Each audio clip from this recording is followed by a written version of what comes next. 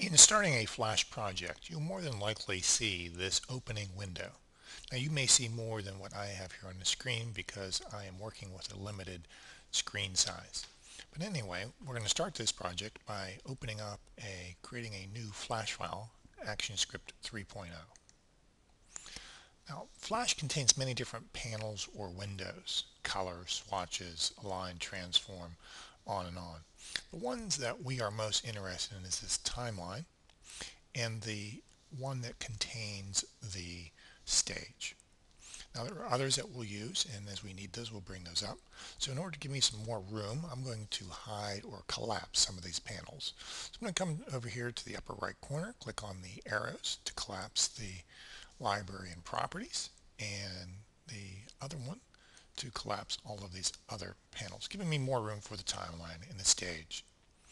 Also, I'm going to go ahead and change my magnification of my stage so that I can see everything as that window would adjust in size.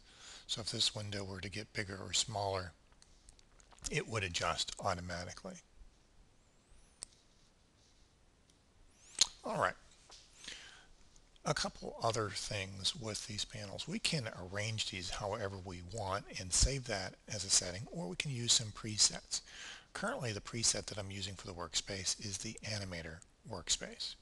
If you get your windows all messed up, you want to return it back to the same starting point, just go back and pick Animator, and it'll reset those windows for you. So if we expand, let's say, the Properties panel out, and we move things around, I had this and, and this was over here. Things become sort of a jumbled mess sometimes. Go back and just reset your windows to that animator. Now there are others. and You can use whatever one you like, whatever one suits what you're doing best.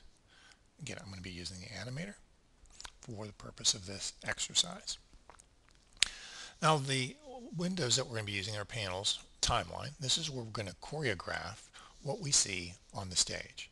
The stage is just that. It's what we see that is going to be displayed. So this large box here is our stage. Anything else is the workspace that we would normally not see. It's off stage.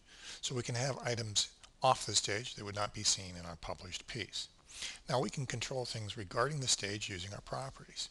Now this is a dynamic properties panel. So as I click on things, it will change depending upon what I've selected. Right now I really don't have anything, but I do have a stage. If I select it, I'm getting properties of the stage. So we can control things like the playback rate in frames per second. We can control the size of that stage, and we can pick whatever we want. I'm going to leave mine at 550 by 400 pixels. I could change the stage color, and I'm going to leave mine at uh, white as well. That concludes this tutorial on beginning a Flash project.